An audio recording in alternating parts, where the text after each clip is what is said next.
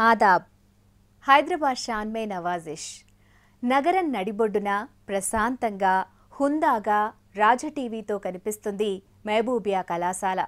నిత్యం పాఠాల హోరులో తడిసిపోతూ విద్యార్థినుల అల్లరిలో పులకించిపోతూ కనిపిస్తుంది ఈ ఎత్తైన రాతి కట్టడం. అమ్మాయిల చదువంటేనే నేరంగా చూసే రోజుల్లో కేవలం అమ్మాయిల కోసమే ప్రత్యేకంగా ఏర్పాటు చేసిన కళాశాల. ఆరవ నిజాం మహబూబ్ అలీఖాన్ చొరవతో ఏర్పడి వందేళ్ళకు పైగా ఎంతోమంది ఆడపిల్లల జీవితాల్లో విద్యా గంధాలను వెదజల్లుతోంది ఈ కళాశాల.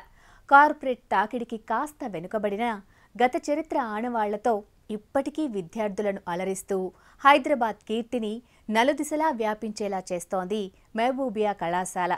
ఈరోజు మన హైదరాబాద్ షాన్. అబిట్స్ గన్ ఫౌండరీ ఏరియాలో ఉంటది గీ కళాశాల. మస్తు దూరం నుండి చూసినా కనబడుతుంది. రాతి గోడతోని కనబడే ప్రహారీ గోడను చూస్తే గీ కట్టడం ఇప్పటిది కాదని దీనెనుక పెద్ద చరిత్ర ఉందని అనిపిస్తది. ఇక లోపలికి పోయి చూస్తే రాజమహళ్ళకు అడుగుపెట్టినవా అన్న ఫీలింగ్ కలుగుతది. నిలువెత్తు ఉండే రాతి కట్టడం రాతి మెట్లు లోపలికి రమ్మని పిలుస్తున్నట్టుగానే ఉంటాయి. మరి గింతకి గింత పెద్ద కట్టడం ఎవరు కట్టిండ్రు? గీ బిల్డింగ్ అప్పట్లో ప్యాలెస్ లెక్క ఉండేదా? ఇప్పుడు స్కూలు కాలేజీ నడుస్తుంది కదా. గిదీన్ కోసమే గట్టిండ్రా దీన్నెవరు గట్టించిండ్రు గింత పెద్ద జాగల ప్రశాంతమైన వాతావరణంలా మస్తు ఖూబ్సూరత్గున్న గీ కట్టడం వెనకాలున్న చరిత్రేంది? గిడికి గీడికి పోంగనే గిట్లాంటి ప్రశ్నలన్నీ వస్తాయి మనకు. గది ఆడపిల్లలు చదువుకునుడంటేనే విచిత్రంగా చూసే జమానా. ముఖ్యంగా ముస్లింలల్లా ఘోషా పద్ధతి. అమ్మాయిల్ని బయటికి వంపుడంటే ముఖ్యంగా చదువు కోసం బయటికి వంపుడంటే నేరం చేసినట్టు చూసే పరిస్థితులు. గట్లాంటి టైంలా అంటే ఇరవైవ శతాబ్దం మొదట్లా గీ కాలేజీని ముందుగాల స్కూల్ లెక్క మొదలుపెట్టిండ్రు. కులీ కుతుబ్షాలు హైదరాబాద్ నగరానికి రూపకల్పన చేసి అందంగా నిర్మిస్తే గా తర్వాత అధికారంలోకి వచ్చిన నిజాంలు గీ నగరానికి మస్తు వన్నెలు దిద్దిండ్రు. అభివృద్ధి నమూనాలు అమలు చేసిండ్రు. విద్య వైద్యం న్యాయ రంగాలల్లా హైదరాబాద్ను నెంబరేగా నిలబెట్టిండ్రు. అమ్మాయిలకు చదువెందుకు అనుకునే రోజులు. ఇంటి పని వంట పని నేర్చుకుంటే చాలు అనుకునే మనస్తత్వాలు. ఘోష లేనిది బయటికి వెళ్ళనివ్వని సంప్రదాయాలు. దీంతో ఎంతో భవిష్యత్తు ఉన్న ఆడపిల్లలు పువ్వులా వికసించాల్సిన లేత ప్రాయాలు పసి మొగ్గలుగా ఉన్నప్పుడే పెళ్ళి పేరుతో వంటిళ్ళకు పరిమితమయ్యేవారు. అలాంటి సమయంలో మొదలైందే ఈ పాఠశాల. చెప్పుకోవాలంటే గది ఇరవయో శతాబ్దమే కాని గా టైంలో కూడా పదమూడు పద్నాలుగేండ్లకే ఆడపిల్లలకు పెండ్లిళ్ళు చేసేటోళ్ళు. ముఖాలకు పరదాలేసేటోళ్ళు ఆడపిల్లలకు చదువెందుకు అనుకునేటోళ్ళు. అయితే మస్తు అభివృద్ధి అవుతున్న హైదరాబాద్లా గిది నిజాంకు నచ్చలేదు. గందుకనే గీ కాలేజీని గట్టిచ్చిండట. నిజం చెప్పాలనంటే గీ ఐడియా నిజాంకొచ్చింది కాదు.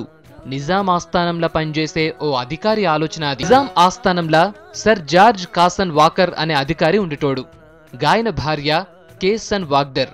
గీమెకు ఆడపిల్లల్ని చదివియ్యాలని మస్తు ఖాయిష్ ఉండేది గందుకే నగరంలున్న ఆడపిల్లల కోసం ఓ పాఠశాల ఏర్పాటు చెయ్యాలని ఓ పిటిషన్ తయారు చేసింది. దీన్ని అప్పటి నిజాం మహబూబ్ అలీ ఖాన్కు అందించిండ్రు. గీ పిటిషన్ సంగతేందో చూడమని ప్రధానమంత్రి మహారాజా కిషన్ ప్రసాద్ను ఆదేశించిండట. గా పిటిషన్ మీద బాగా పనిచేసిన కిషన్ ప్రసాద్ గీ పిటిషన్ సరైందేనని చెప్పుడుతోటి వెంటనే పాఠశాల మొదలుపెట్టమని చెప్పిండట నిజాం. గంతేగాదు. గీ పాఠశాల కోసం ప్రభుత్వ ఖజానా నుంచి నెలకు వెయ్యి రూపాయలు మంజూరు చేసిండట పాఠశాల నిర్వహణ కోసమని ఏడుగురు సభ్యులతోని ఒక కమిటీని కూడా ఏర్పాటు చేసిండ్రు. పంతొమ్మిది వందల ఏడు ఫిబ్రవరి ఒకటిన మహబూబియా పాఠశాల ప్రారంభమైంది. మొదట ఈ పాఠశాల నాంపల్లి రైల్వే స్టేషన్ ఎదురుగా ఉన్న ఓ ప్రైవేట్ భవనంలో అంటే ప్రస్తుతం రాయల్ హోటల్ ఉన్న ప్రాంగణంలో ప్రారంభమైంది. ఆ తరువాత ఇప్పుడున్న భవనంలోకి మారింది. ఈ పాఠశాలకు ఆరవ నిజాం మహబూబ్ అలీ ఖాన్ పేరు మీదుగా మహబూబియా పాఠశాల అనే పేరు పెట్టారు. సరే స్కూల్ అయితే మొదలు పెట్టిండ్రు గాని పిల్లలు కూడా రావాలి కదా మొదట్లా గీ స్కూళ్ళ పది మంది అమ్మాయిలు కూడా సరిగ్గాలేదట దీంతోని చదువుకుంటామని వచ్చిన నలుగురు అమ్మాయిలతోనే స్కూలు మొదలుపెట్టిండ్రు. గా తర్వాత మెల్లమెల్లగా స్కూళ్ళ పిల్లలు పెరుక్కుంటూ వచ్చిండ్రట.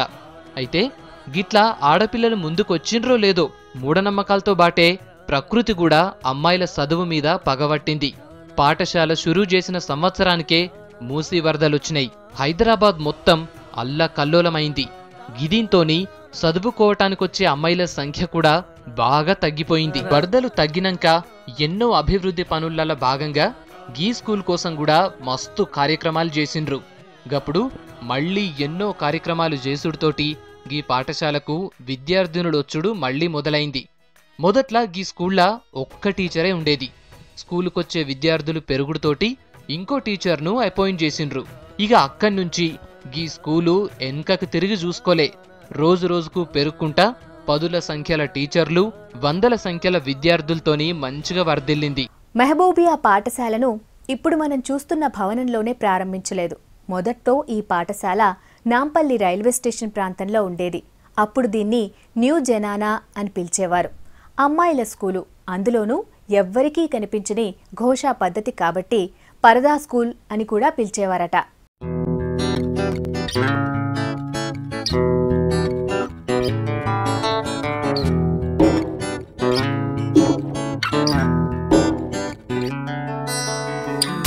హైదరాబాద్ అంటే ముస్లిం జనాభా ఎక్కువ ఉండేది. గవాళ్ళ ఆచారం దిక్కుకెళ్ళి ఆడపిల్లల్ని పర్దాలెనుక ఉంచుటోళ్ళు.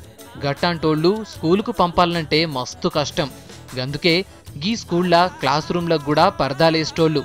గందుకని గీ స్కూళ్ళ చదువుకోటానికి ముస్లిం ఆడపిల్లలు మస్తు ఇష్టపడేటోళ్ళు.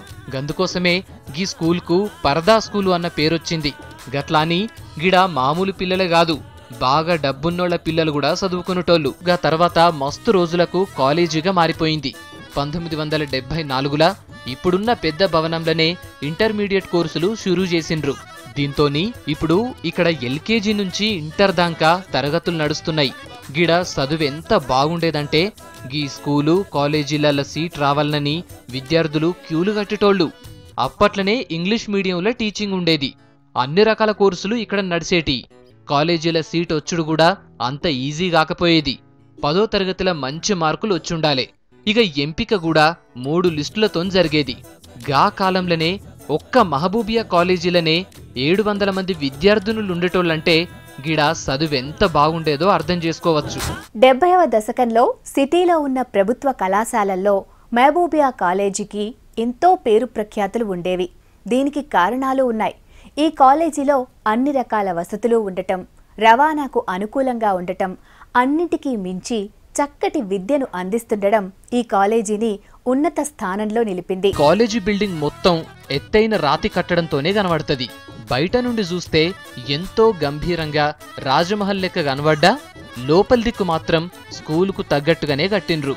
విశాలమైన తరగతి గదులు కూర్చుని రాసుకోవటానికి అనుకూలంగా ఉండే బల్లలు ధారాళంగా గాలి మళ్ళా వెలుతురు కూడా వచ్చేటట్టు కట్టిన నిర్మాణం గీ స్కూలుకున్న స్పెషాలిటీ. విశాలమైన స్థలంలో కట్టిన గీ బిల్డింగ్ ముందు దిక్కంతా రాతితోను కట్టిండ్రు.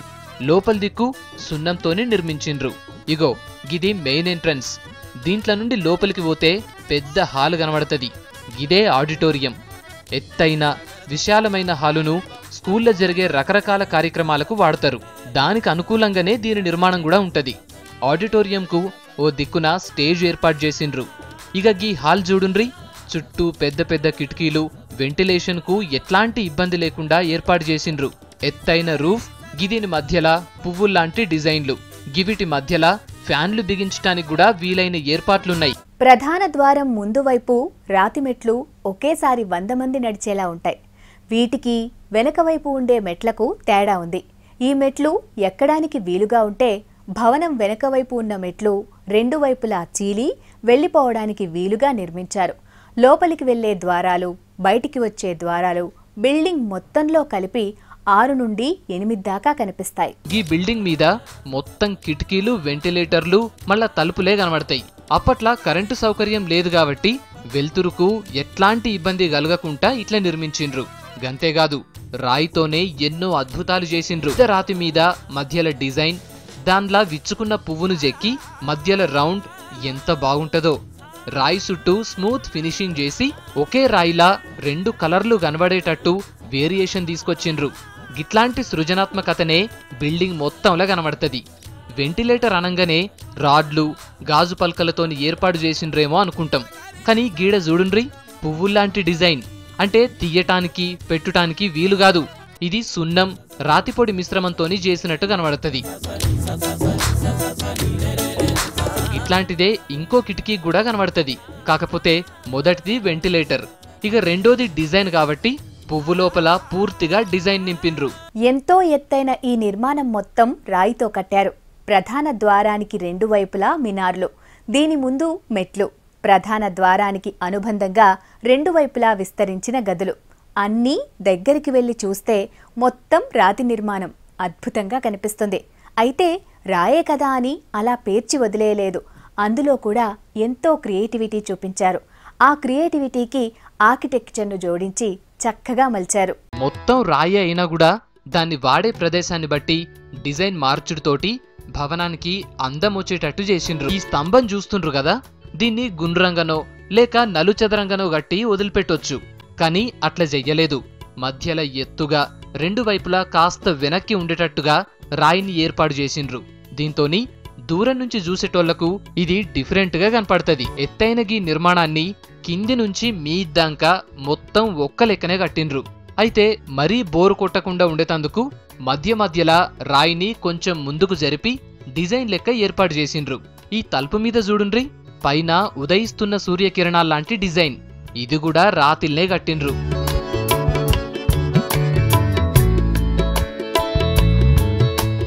ఇలాంటిదే కిటికీలు ఆర్చ్ల మీద కూడా కనిపిస్తుంది. ఆర్చ్ మీద రాయిని మలిచిన తీరు గమనిస్తే లవ్ షేప్లో స్మూత్ ఫినిషింగ్తో కనిపిస్తుంది. ఇక్కడ కిటికీల మీద కూడా సూర్యుని ఉదయ కిరణాల్లాంటి డిజైన్ను గమనించవచ్చు. ఈ బిల్డింగ్ మొత్తం రెండంతస్తులలో ఉంది. ఎత్తైన నిర్మాణం కాబట్టి కిటికీలతో పాటు వెంటిలేషన్ కోసం ప్రత్యేకంగా మస్తు వెంటిలేటర్లు ఏర్పాటు చేసిండ్రు. మొదట అంతస్తులున్న కిటికీలు రెండో అంతస్తులున్న కిటికీలు ఒకదాని మీద ఒకటి గివిటి మీద వెంటిలేటర్లు వచ్చేటట్టు ఏర్పాటు చేసిండ్రు. దీనిలా ఇంకో ప్రత్యేకత ఉంది. కిందున్న కిటికీలకు బయట దిక్కు ప్లెయిన్గా వదిలేసిండ్రు. కానీ మొదటి అంతస్తులున్న కిటికీలకు మాత్రం బయటి దిక్కు స్ట్రకో వర్క్ తోటి డిజైన్ చేసిండ్రు. ఇక కిటికీలకు బాల్కనీ గోడలకు అందమైన పువ్వులు లతలతోనే తీర్చిదిద్దిండ్రు. పెద్ద రాజ్మహల్లా నిర్మించిన ఈ భవనం మొత్తం రాతితో కట్టిందే. రాయి మీద రాయి పేర్చి కట్టినా వందల ఏళ్ళైనా చెక్కు చెదరకుండా ఉండేలా నిర్మించారు. దీని నిర్మాణం మొత్తం ఇండో యూరోపియన్ శైలిలో జరిగింది. ఇగో గిది చూడుండ్రి డిఫరెంట్ వర్క్ ఇది. రాతిల్నే కింది నుంచి చూస్తే వేలాడుతున్న పరద లెక్క పైననేమో డోమ్ లెక్క మస్తు చెక్కిండ్రు. మొదటంతస్తు కిటికీల మీద ఏర్పాటు చేసిన రాయిల కూడా డిఫరెన్స్ మస్తు చూపించిండ్రు. దీని మీదున్న డిజైన్ వేరే లెక్క ఉంది. దీన్ని ఒకసారి చూడుండ్రి మస్తుంది కదా. చిన్న చిన్న రాళ్ళను తాపడం చేసినట్టు అనిపిస్తుంది కదా. అయితే గీరాయి కూడా కంకర్రాయే దీని మధ్యలా అతుకుల కోసం సున్నప్రాతి మిశ్రమాన్ని వాడిండ్రు గీ రాయి చూడుండ్రి షార్ప్గా ఉండే భాగం లోపల దిక్కు స్మూత్గా ఉండే భాగమేమో బయటి దిక్కు వచ్చేటట్టు మస్తు అతికించిండ్రు. దీంతోని దూరం నుంచి చూస్తే ముత్యాలు పరిచినట్టే కనబడుతుంది. బిల్డింగ్ మీద చుట్టూ పహారా గాయటానికి వీలుగా ఉండే నాలుగు నిర్మాణాలు గివిటి మీద డోమ్స్ తీరుగా కనపడతాయి. ఇట్లాంటివి చాలానే కనబడతాయి. దీంట్లో మొదటి అంతస్తు నుంచి కిందికి చూడ్డానికి వీలుగా బాల్కనీ ఉంటది. ఇది కూడా మొత్తం రాతితోనే కట్టిండ్రు మధ్యలా సిమెంట్ స్ట్రక్కో వర్క్. మళ్ళీ ఈ వర్క్ కూడా మిగతా వాటి లెక్క కాకుండా వేరుగా ఉండేటట్టు మస్తు జాగ్రత్త తీసుకుండ్రు. అందమైన రాతి కట్టడం వందల ఏళ్ళ చరిత్ర అమ్మాయిల చదువుకు ఆనాటి పాలకులు ఇచ్చిన ప్రాధాన్యత వెరసి ఈ కట్టడానికి ఓ ప్రత్యేకతను తెచ్చిపెట్టింది. నిర్మాణానికి సజీవత్వాన్ని ఆపాదించింది. ఇలాంటి నిర్మాణాలు ఈ చరిత్ర కాలక్రమంలో మరుగున పడిపోతున్నాయి. వాటిని మళ్ళోసారి గుర్తు చేసి అప్పటి వైభవాన్ని గుర్తు చేసుకుంటే ఎంత ఘనమైన ప్రదేశమో అర్థమవుతుంది. ఆ చరిత్ర అబ్బురపరుస్తుంది. ఇలాంటి మరో షాన్తో వచ్చేవారం మళ్ళీ కలుద్దాం. ఖుదాఫిస్